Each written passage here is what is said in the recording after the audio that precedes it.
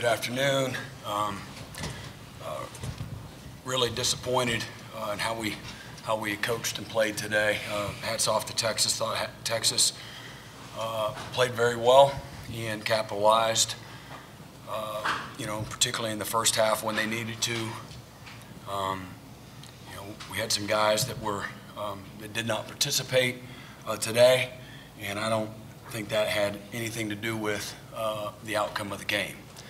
And um, we were good enough, uh, you know, on both sides of the ball uh, to be a lot more competitive and have a chance to win the game than what we uh, displayed. Um, you know, from coaching and getting them ready, uh, that responsibility starts with me. And we obviously, I obviously did a, a very poor job of doing that. You know, you know, lose a game 49 to nothing uh, and have all this great coaching and scheming and uh, everything else, you know, without, again, uh, the accountability beginning and ending, you know, with me. So obviously I've not done a, a great job. I think our players have been incredibly invested uh, through the first half of the season and um, frustrated for them, uh, for them not to uh, to see the, the results that uh, they're all fighting for every single day. Uh, you know, some ways it would look like maybe a tired football team, and um, you know, there's there's probably you know several reasons uh, why right now we're having to play uh, near perfect football, and um, and we're just not able to do that right now. So I thought we had um, plenty of opportunities in the first half uh, where you know if we uh, take advantage of some short fields execute at a, at a better level, help them with play calls, uh, whether we're getting off the field. They had four touchdown drives of 79 plus yards, um, no quick touchdown drives. Uh, you know, so there's plenty of opportunity within those drives, in my opinion, that we can uh, do a better job of coaching and playing to help us get off the field. Thought we had um, a lot of early momentum in the game, and, and uh, we just could not capitalize. And right now, you feel like you, you need to play um, close to perfect right now. So we're not uh, playing with great confidence. And like I said, I, uh, looking back on it, you just look, I don't know if it's just a little bit of, um, uh, you know, not quite as sharp as we need to be. So we'll obviously look at everything. And, um, you know, I thought you know, one of the critical uh, points in the game was early, you know, and where we turned the ball over on downs.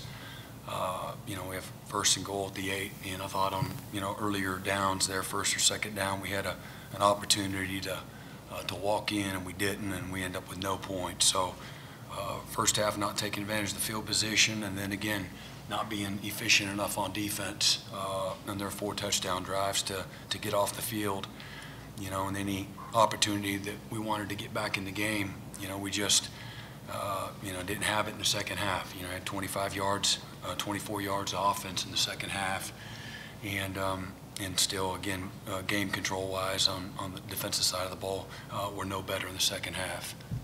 So with that, I'll open it up. All right. Uh, again, raise your hand. We got mic runners. We got questions for coach or player. We'll start in the front.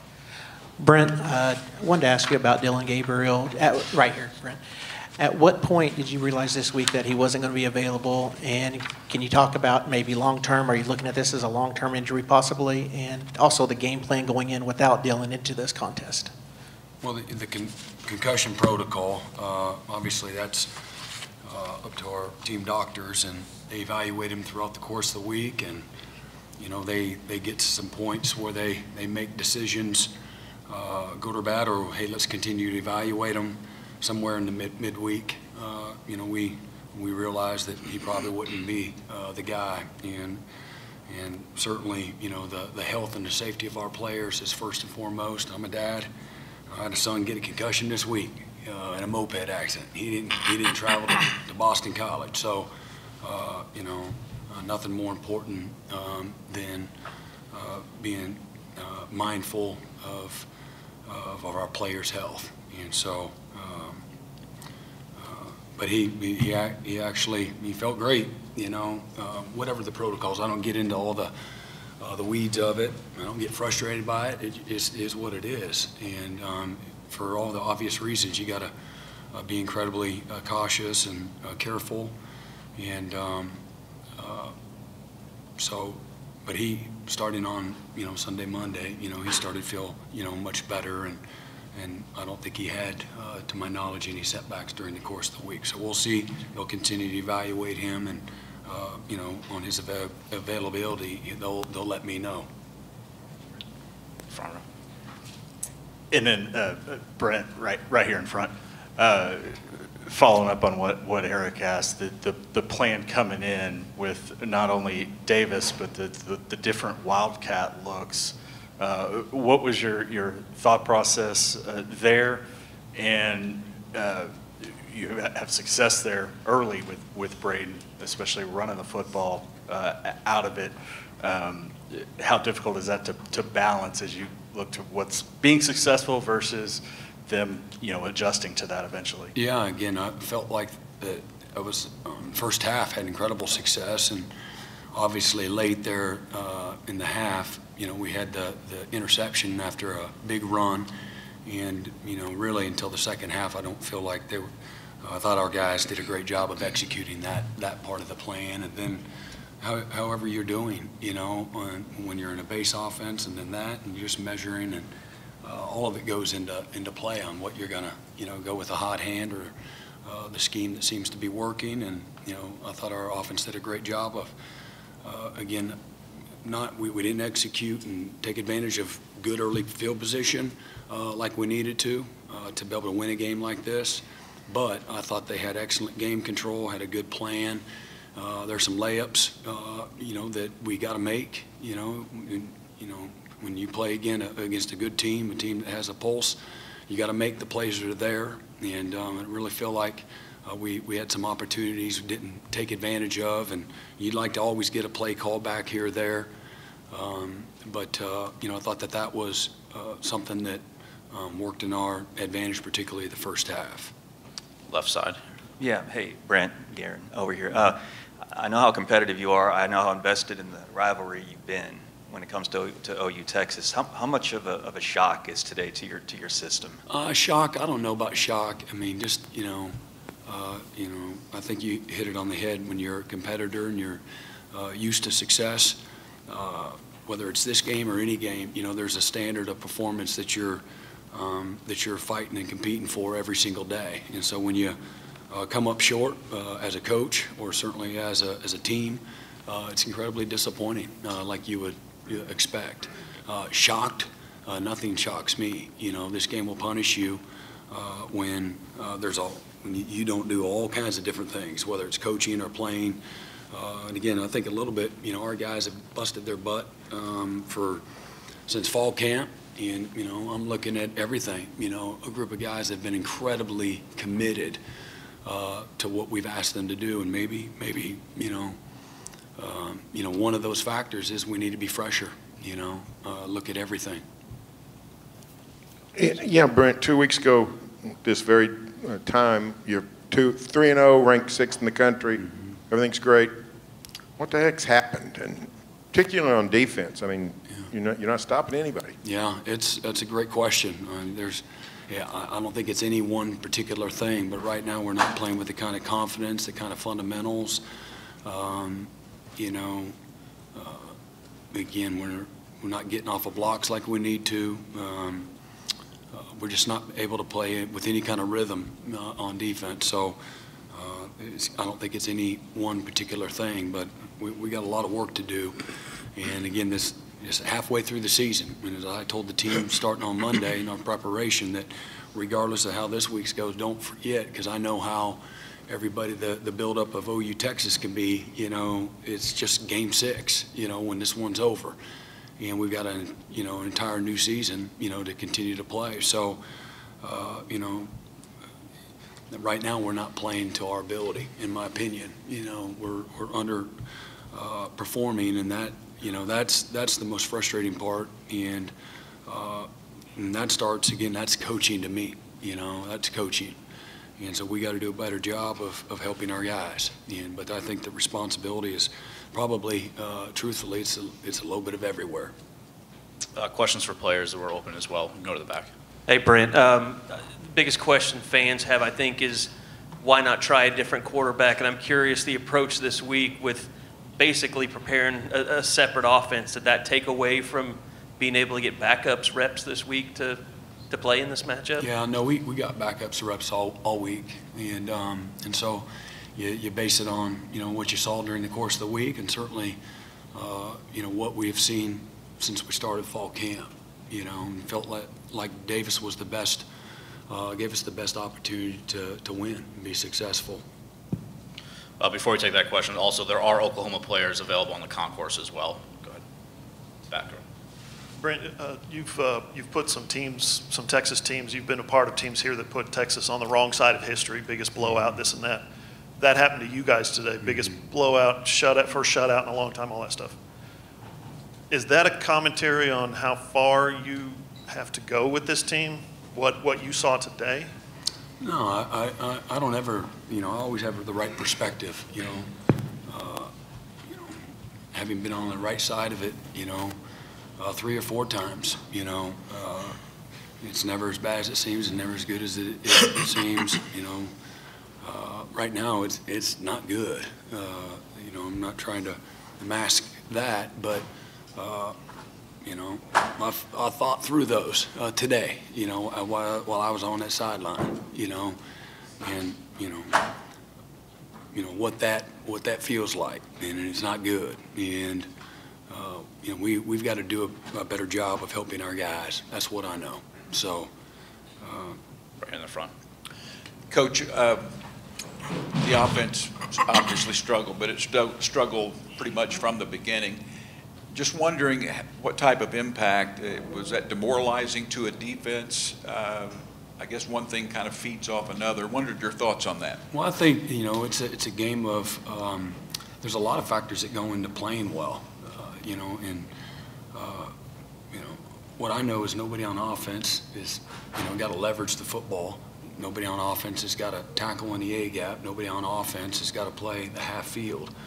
And so, you know, I don't, bel- you know, that's what they pay the coach for, you know, to keep guys uh, on edge, uh, excited to play, motivated, uh, inspired. And, and again, I thought our guys competed, you know. We didn't coach them great and we didn't play great. Uh, but I thought our guys, you know, continued to compete. And um, so uh, it's never fun when you're in the middle of, of, of a storm and, you know, you can't get, you know, you can't find your way out of it. And uh, so uh, it's, you know, can be discouraging for everybody involved. And, uh, but again, you know, that's the challenge, you know, is that you, the only way you're going to get better and get out of the storm is by having the right mindset, you know, to continue to attack it and uh, stay in the fight. And, and so that's what, you know, we're focused on doing moving forward. Any questions for players? The front left. Hey, Brent, I'm just, you know, I know your first thing on defense, you always try to do is stop the run, but they even went, you know, third and seven, they would run the ball and get a first down and things. Talk about your struggles today, or what was going on trying to stop the run today? Yeah, we just can't get into any rhythm right now. You know, we can't get into a rhythm. And uh, some of it, maybe it's in plus territory and uh, they have a four down mindset. And we just, uh, you know, in my opinion, we can't get out of our own way right now. And, it, uh, you know, so we got to do a better job of helping our guys. And, uh, you know, it's where it starts. You know, starts in the run game. The team that wins this game, uh, you know, rushes the ball better. And we knew that going in and uh, just did not do a great job. You know, we didn't do a good job of tackling. We weren't great at the point of attack consistently like you need to be, particularly in that first half when, you know, a two or three yard gain turns into five or six. We talked about moving the pile the other way and not letting them fall forward, and we didn't, we weren't very consistent at that. And that all plays a part into it too, you know. Uh, getting there's half the battle, and then finishing is better. Right now, we're not great at, you know, a lot of things. We'll stay front left. This is for uh, the the guys that have been here the previous years. This is new territory for you guys uh, as far as the three losses. Where, where, how do you how do you continue to, I guess, look to have more confidence each and every week after the last three weeks, and how do you keep the younger guys focused on that? And Brent, for you as well, how do you make sure your players don't continue to kind of look in the past and dwell on it because it's a new territory for the program. Uh, David, you want to start with? uh, there's a mindset that's been instilled into this football program, and we're very unshakable no matter win or loss. So, answer that question, what we have to do moving forward to keep everybody locked in is just exactly what we've been doing since the beginning of the season. You know, um, there's a formula that goes into what we do every single day of the week, and I have full intention of following that. I have full intention of leading the younger guys behind me to follow that as well. Uh, Reggie? anything else? Uh, yeah, just kind of piggybacking off of that, I think that it's uh, just one of the things you have to take day by day. Uh, you talk about instilling confidence in our guys. Well, you just take that one play at a time and just kind of keep uh, building and building and building and stacking days. And as far as our young guys are concerned, man, I love the group. I love my position group. I love the group that we have. Uh, I love the, the older guys and the young guys. I love how close we are. So as far as instilling confidence in them, just just allowing them to, to know that they can make plays too. Is is, is not a. Is, it doesn't have to be every old guy to make a play. Uh, the young guys can make a play. They can contribute, and they can just they can. We can all be ball players. We can all get a lot better, uh, and that's the challenge is to get better. So we I think we all relish that. Brayden? Yeah, um, this is very this is uncharted territory for us. But at the end of the day, a lot of all the guys up here have played a lot of ball, and I think the biggest thing for us right now is just to lead a little bit harder. You know, push a little bit harder and left everything every stone unturned. You know, everything has to be said. Everything has to be brought. You know, held accountable. Um, so I think that's the biggest thing right now is just for the leaders to lead a little bit harder because we have all the experience and uh, the young guys don't know. So we have to lead harder and just keep on chipping away, stay together. Davis, anything to add? Uh, yeah, I mean, I haven't been a guy who's been uh, a part of this rivalry before. It's my first time. Um, but just uh, been on a team that's won a lot of games before and uh, I know that this team has the talent to do so. Um, we're definitely tight-knit. Uh, it's truly a family. And uh, just the way that we're going to get past is uh, that windshield mentality. You got a small rear view for rear view mirror for a reason. So that's what just got to keep looking forward. Stay on the left side. Yeah, for Reggie and David, Brent mentioned losing confidence over the last couple of weeks. Do you kind of feel that, and do you know how to get out of that or get confidence back, other than just looking at the scoreboard at, at the end of a game?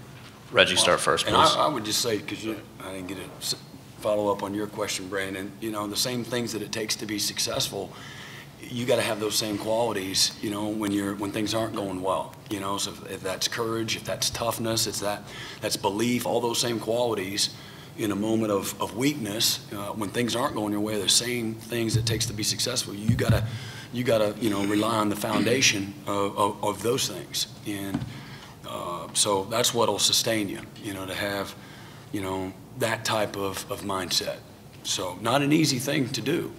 And, you know, the, uh, you know, the adversity and the, the failure, losing, um, can, can divide, divide a team, you know, quickly, right? You see it all the time. Okay, or people just make a choice. It's literally that easy. Okay, that no, I believe in this. I have that unshakable belief in what we're doing. And again, there's, you know, again, responsibility goes everywhere.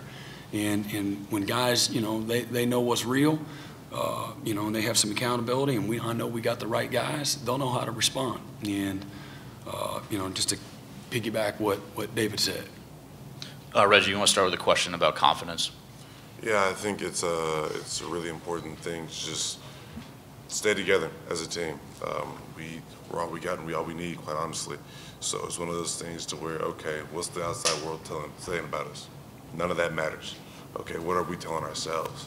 Okay, we're still Oklahoma, and at the end of the day, we're, that's all we have. That's all we need. Uh, so you talk about instilling confidence back in our young guys, just uh, more of a, a relearning, re-understanding to the fact that we are still who we say we are. We still are the, the ball players that we have been. It's just a matter of doing the little things right and just uh, making the right plays, making your layups, as Coach Venable says. But we are still who we say we are. David, anything to add there? Um, your question, I think you said that we had lost. eh, You asked if we felt as if we lost confidence, and from my perspective, no, not at all. Because the outside world sees this game as just like big plays, touchdowns, us not scoring any points. But I know everything that, and we know everything that we need to do to, in order to fix it, and that's where like a huge part of the confidence come from. You know, we're not losing confidence, we're gaining confidence because we know, oh, if we just do this, then this play would have turned out this way. If we just do this, then this series would have turned out this way. So um, I think just keeping the guys locked in into the, the, the, the details of everything we had to do as far as uh, execution on defense. Uh, I guess on for two more, I'll go to the front right. Davis, I'm kind of curious, this is a heck of a start to get your first start at a place like Oklahoma. How tough was it, the whole crowd, split 50-50? I'm sure they gave you some looks to try to confuse you. Just what were you seeing? How tough was it to play in this environment for you? Um, I've been in a bunch of places, uh, a lot of them uh, pretty crazy, but this obviously this is a one of a kind spot. Uh, one one side of the field it's all love, and one side it's all hate. Um, when it came down to seeing things, I feel like we we did know what they were doing uh, defensively. They just um, got the better of us on some plays, and we uh, we hurt ourselves on some plays. So uh, it was definitely quite the experience. Uh, my first start, um, but I felt like I was calm, cool, collected the whole time, and I feel like uh, we just got to keep going. Uh, one more, left side. Yeah, for uh, Brayden and Davis, what was this past week of practice like for you guys as you kind of picked up some new responsibilities in the offense, just figuring that stuff out? And how do you feel like you guys handled the kind of the ins and outs of today, the complexity of running the offense you were running, where sometimes one of you's out wide and another guy's in the backfield, and just switching it around a little bit? Uh, Brayden, start first. Uh, yeah, I thought we had a pretty good week of practice. You know, sometimes uh, your results don't always match up with the work that you you know put in, and that's the frustrating part for us right now. Um, you know, there's a lot of extra responsibility put on different guys, but the guys that we put it on are guys that have been around for a long time and are used to, you know, being held responsible. excuse me, but being you know held responsible and having a lot of responsibility. So I don't think it was too much of a challenge. Uh, I think, like David said, you know, there's, in a football game like this, there's going to be plays made on either side, and then I think we did hold ourselves back a little bit. So um, I thought the preparation and the intent was right. At the end of the day, we just have to be better, and that's all it is. And Davis. Uh, yeah, uh, just speaking on preparation, I feel like uh, it was a week for me, um, just personally. Uh, going through that full full week is uh, preparing for the starter. Um, it was definitely different for me, but uh, definitely a great experience. Um, I feel like throughout the week we had great energy uh, through practice. Didn't let those uh, two losses shake us. So, like you said, uh, sometimes uh, the preparation you put in, uh, the outcome doesn't uh, reflect that. But uh, just another week ahead of us that we just got to go in and keep our heads down and just keep working and block out all that extra noise from, from people that really shouldn't have an effect on how you view yourself or view this team. Okay, that concludes. Thank you very much, Jason.